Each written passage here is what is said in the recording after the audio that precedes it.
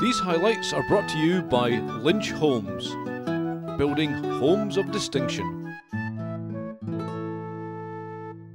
This afternoon we're at Millbrae. It's Ayr against West. Ayr are top of the table in Premier 1. West are third from the bottom, but it means a lot to both sides. Ayr want to hold on to that spot, and West they want to move up from there. They want to get beyond that bottom four so they're not there when the league split in a few weeks' time. It means a lot to both sides this afternoon, I can tell you.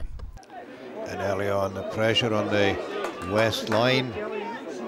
Well taken at the line out there by Mark Jenkinson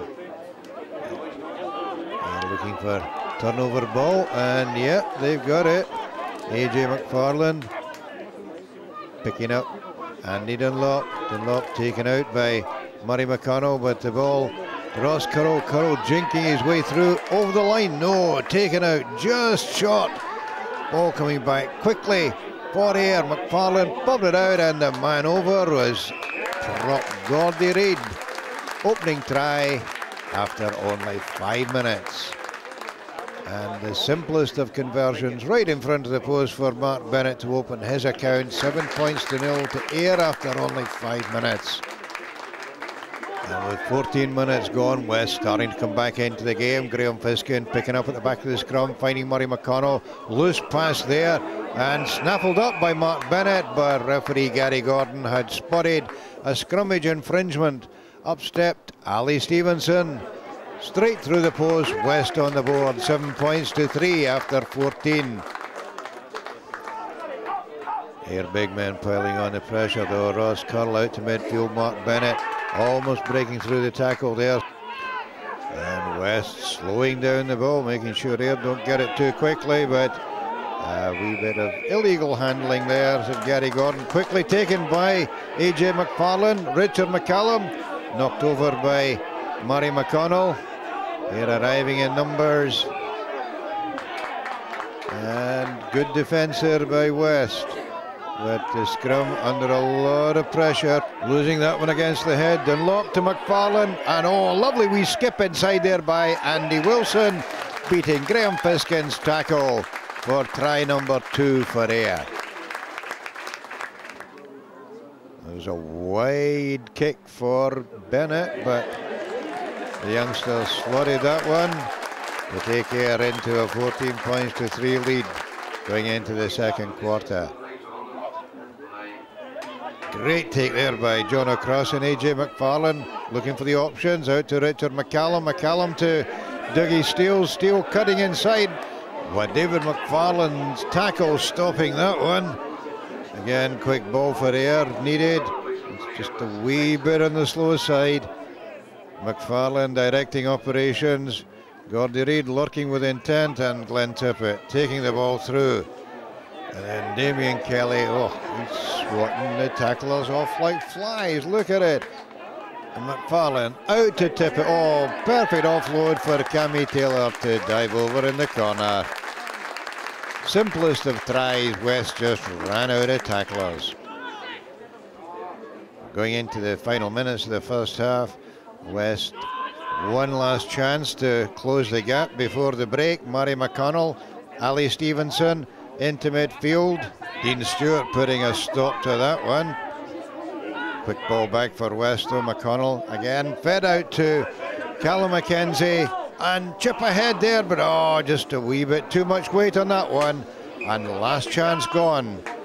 Going into half time, Ayr 19, West 3. Scrum Magazine. Subscribe online at scrummagazine.com. These highlights are brought to you by Lynch Homes, building homes of distinction. Right to the beginning of the second half, quick penalty taken by Murray McConnell. And Callum McKenzie might have had the last chance of the first half. He made no mistake with his first chance in the second half. Absolutely skinning the Ayr defence, beating Grant Anderson's tackle in at the corner for a blistering try for the young West winger. Difficult one for Ali Stevenson, but straight through the posts. And now the gap, nine points, and the whole of the second half remaining. So it was who was going to blink first? But it was West who were shunted back and back and back, almost ending up in the Burns Monument, for goodness sake. Andy Dunlop, the man, to pick it up at the back and get over for a try that really showed the power of the Ayr pack. That was the bonus in the bag. Mark Bennett's conversion to take the score to 26 10 really closed the door. But it all went a wee bit quiet after that. And West certainly weren't going to lie down, putting a bit of pressure inside their 22. Stevenson out to Richard Dalgleish, looking for a gap there. Ah, Mike Sim, we stumble as he took that one, giving Ayr the chance to regroup. Richard McCallum trying to prevent the ball coming back too quickly, but Murray McConnell sticking it out there again, getting very close to the Ayr line. And ah, knock-ons and referee Gary Gordon, scrum to Ayr. Going into the final quarter, West keeping up the pressure. Great jump there by Robert McAlpin, setting up the drive. Elliot McLaren beavering away at the back, setting it up. The maul going forward and forward and still going. Here, trying to bring it down, trying to do something to stop it. And oh, just a wee bit over anxious by Mark Jenkinson there, and it all came to naught. 10 minutes to go, and Ayr suddenly coming to life again. Mark Bennett almost through midfield, but well placed by Stuart Malone. And Gordon Sykes looking for a wee bit of glory. Well, when you've come out of retirement, why not? But not quite getting there. And Damien Kelly thumping over, but held up, said referee Gary Gordon. Hmm, big man will have something to say about that. But scrum to Ayr, five metres out. And scrappy ball there. Taken round the blind side. And they're all lining up for this one. McFarlane pops it up to Kelly, and no, it's not an action replay this time. He is over. Gary Gordon signals a try. Number five for Ayr, And conversion number four coming up for Mark Bennett. 33 points to 10. 10 minutes to go. Ayr home and dry. Looking for try number six. Lovely wee offload there from Ryan Wilson to McFarlane. Out to Bennett.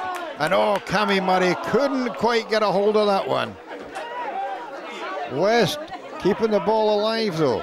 And inside their own 22. Prepared to have a bash at Ayr yet again with only eight minutes remaining.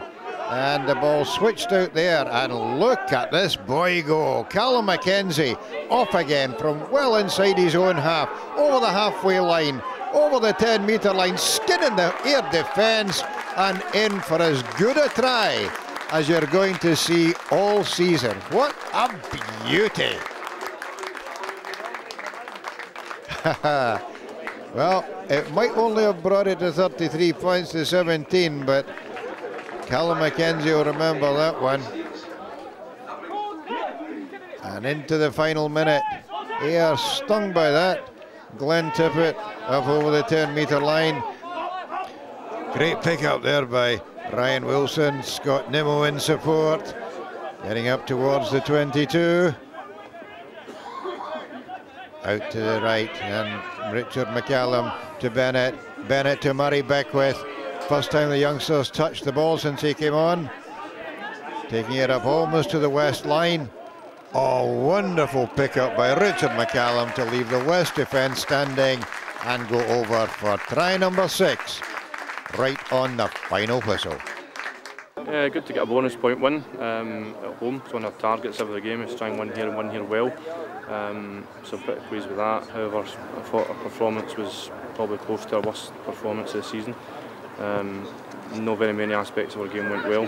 Um, breakdown, um, contact, passing, um, lots of work to do. Pretty disappointed in the performance today, um, but got a result, which is the most important thing. Ah, it's being so cheery that keeps Kenny Murray going. Well, what's he got to complain about here? Three points clear at the top. West, well, they're a better side than that league position shows, I can tell you. And they'll be doing everything they can to get out of that bottom four. This is Ron Evans for Scottish Rugby Television at Millbrae.